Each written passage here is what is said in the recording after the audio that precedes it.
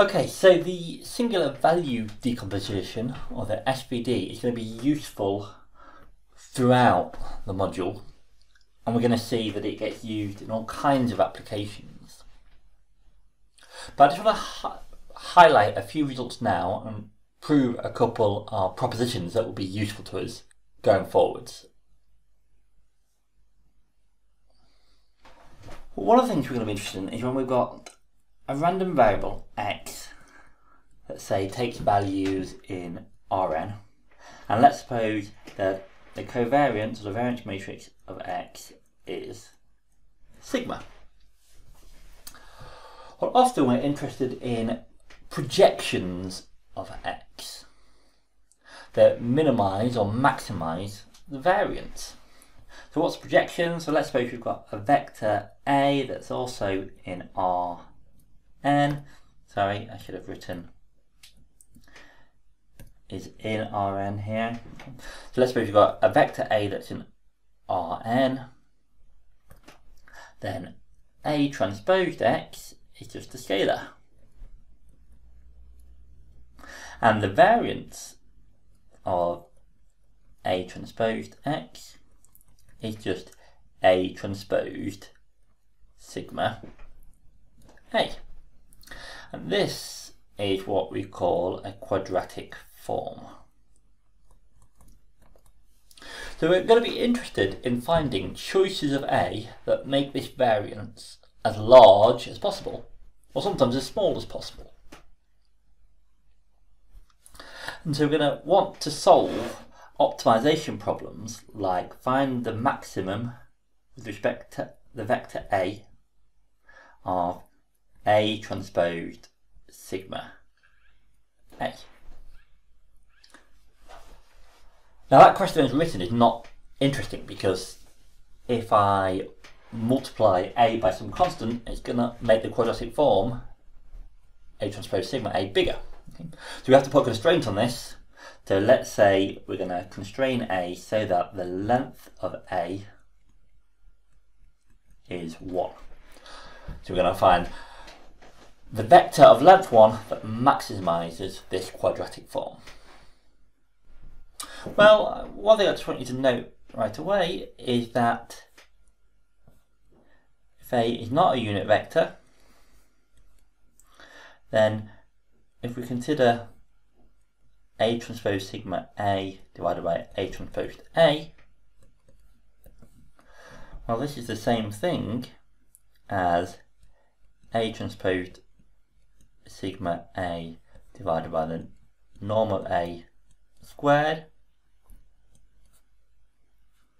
Or in other words, A divided by the norm of A transposed times sigma times A divided by the norm of A.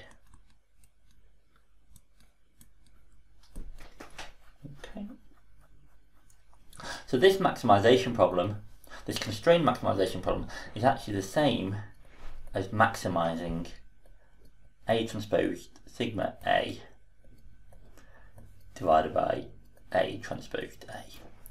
So I can choose to solve either of these two problems, either the constrained maximization problem or the unconstrained maximization problem.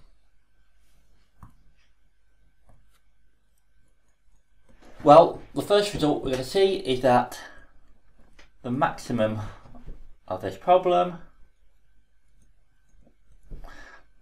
A is of length 1 is lambda 1, okay, the first eigenvalue, and it's achieved uh, for A equal to um, x1, where lambda 1 is the largest eigenvalue of sigma and x1 is an eigenvector corresponding to lambda 1.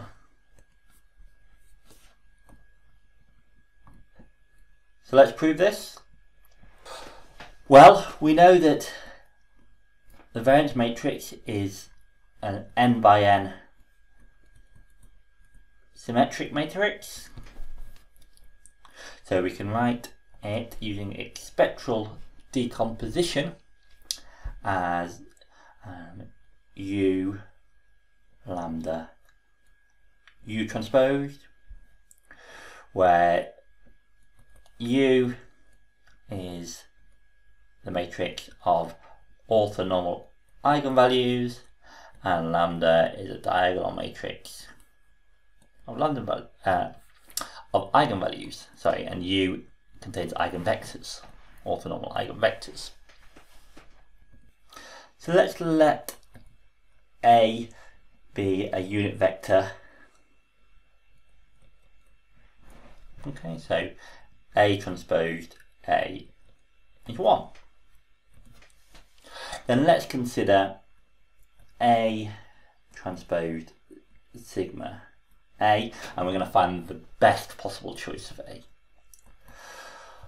Well, this is A transposed U lambda U transposed A, and if we let B be U transposed A, we can rewrite this as B transposed lambda B. And because lambda is a diagonal matrix, this is just the sum from i equals 1 up to n of lambda i bi squared, where bi are the components of vector b.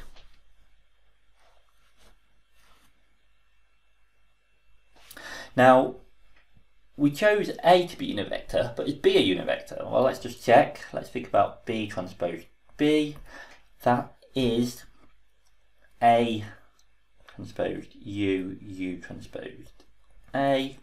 Well, U transposed U, U transposed is identity, so this is just A transposed A, which is 1. So B is a unit vector,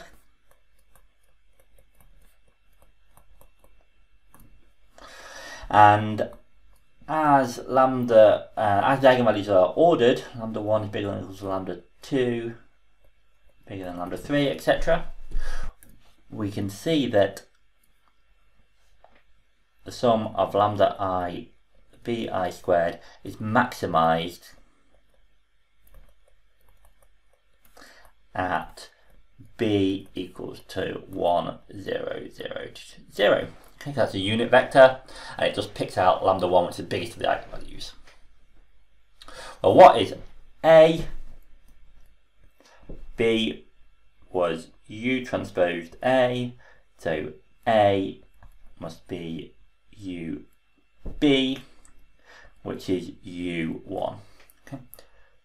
So the maximum we can achieve is lambda 1, and it's achieved at, at the first eigenvalue u1. Proving the result.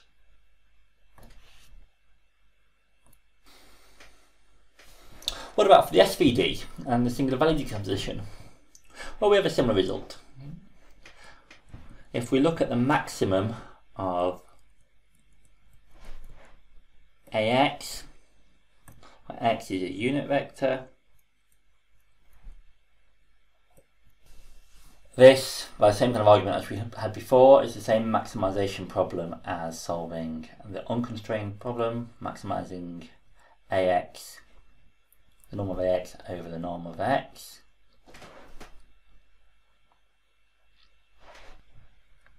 So we know that the norm of ax squared is just x transposed a transposed ax and if we write A in its singular value form, decomposition form, as U sigma V transposed, then A transposed A is going to be V sigma squared V transposed.